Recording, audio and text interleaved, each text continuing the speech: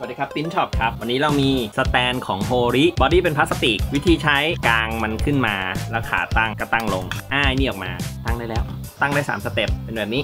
แบบง่ายๆเลย ขาตั้งอย่างเงี้ย เวลาที่เราเสียบสายชาร์จข้างล่างอะ ก็ยังเล่นได้ ถ้าอย่างของ Lite เนี่ย ก็อาจจะแบบช่วยถือ โหมดนี้ไม่ต้องแบกเครื่องละมั้ง แต่ถ้าเกิดว่าเป็นตัวสวิตช์อ้วนปกติเนี่ย เราก็ดึง Joy-Con ออกมา ก็ถือเล่นได้ ก็ดีนะ เบาๆ ง่ายๆ วัสดุแข็งแรงโพลิเจแปนขาตั้งพลาสติก จ้า ซื้อได้เลยจากจินช็อปจ้ะ